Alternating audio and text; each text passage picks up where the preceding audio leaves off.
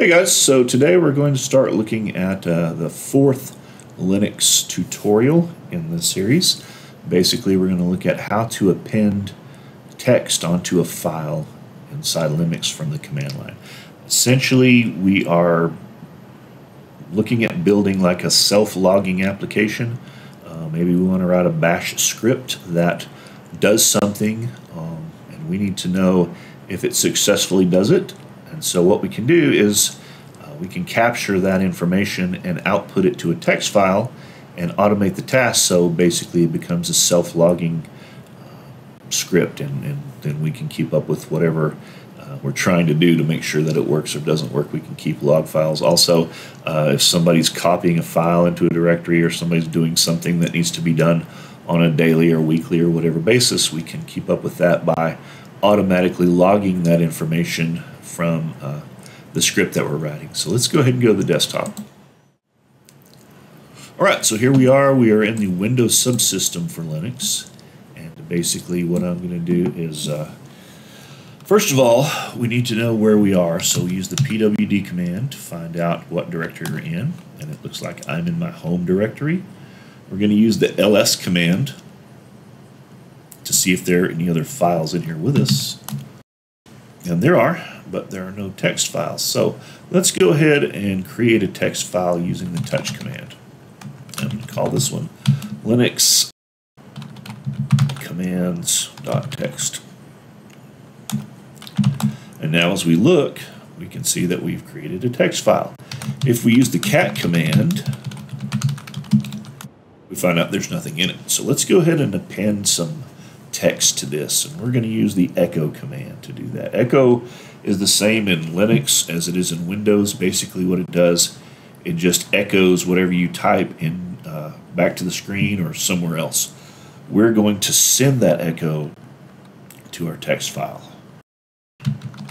So we're going to go in a echo linux commands text. Oops, first we need to put in the text we want to send those. This line text And we're going to use the uh, greater than, two greater thans, not just one. We want to use two. So we're going to say Linux commands.text. Now we can use the cat command to read it. And there's our line of text. All right, now the key is we need to be able to append multiple lines. So let's see if we can do that using the echo command.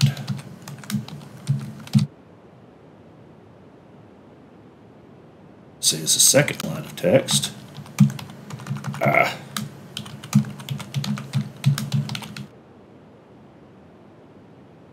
Now we're going to read it.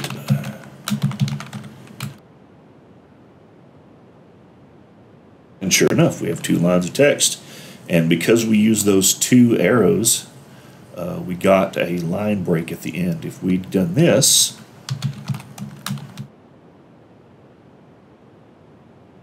third, pardon me. This is more text.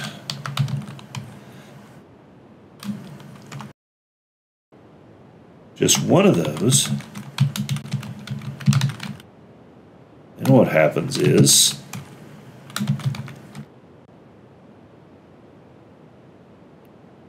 oops, it does not append, it replaces. And so what we had, the this is a line of text, and the second line of text has been deleted and essentially uh, we uh, we've replaced we've replaced that text with this is more text. So let's go ahead and append another line there. We're going to echo this second line of text using two greater than signs.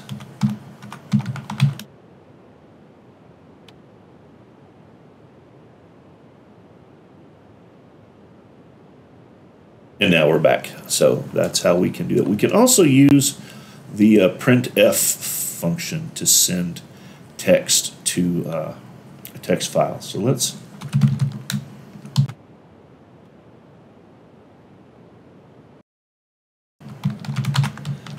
use the different method. Oops, I'm going to still send it to and we're going to read it.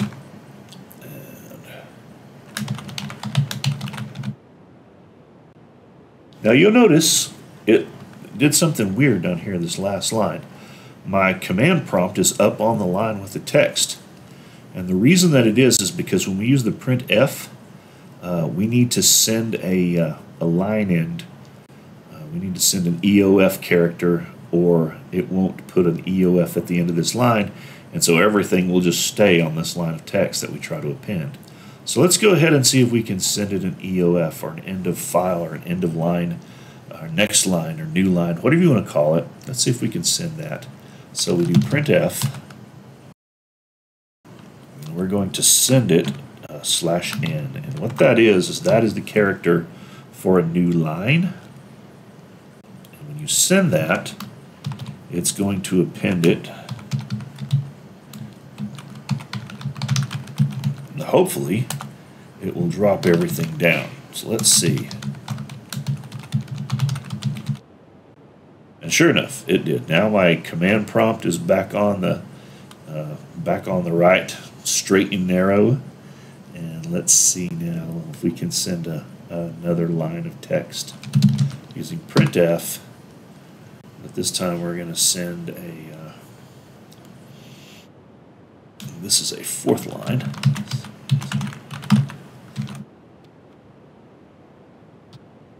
Send it period forward slash n. Oops, let's see if we can do it this way.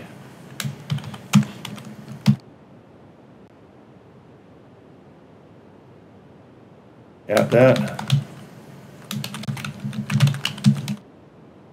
And sure enough, we were able to send it. Now you notice you don't see the, the slash n here anywhere because the new line character is invisible. It's like a paragraph character it's like end of file character. All those things are invisible, but they're there. And the reason that we know they're there is because it dropped my command prompt down at the end of this line. So yes, we can in fact two different ways append text to uh, command or from the command line we can append text to a text file. All right, guys, also as part of this assignment, I want you to go on the internet and find at least one more way. Now, there are hundreds, literally, hundreds of ways to add text to a text file from a Linux command line. The reason that this is such an important and a, such a widely documented uh, tool is because it's an important tool because it, like I was speaking about a while ago, every administrator needs to be able to build log applications, and this is something that you'd be doing a lot of in uh, as a Linux administrator, uh, pretty much as any kind of an administrator. You need to be able to log things that are happening without you constantly having to update a file.